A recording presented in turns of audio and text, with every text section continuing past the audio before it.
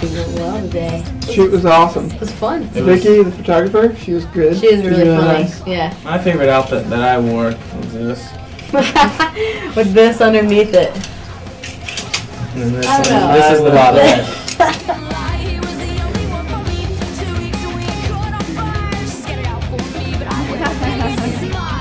We love Nashville. We're proud of, of our hometown, so it it definitely I don't know. I think it made us more comfortable just being in our element and and actually showing showing people around our town. That was what was the coolest part about it.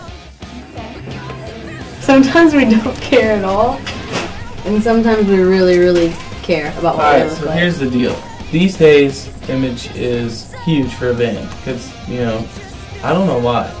It sort of sucks because back in the old days, it obviously wasn't.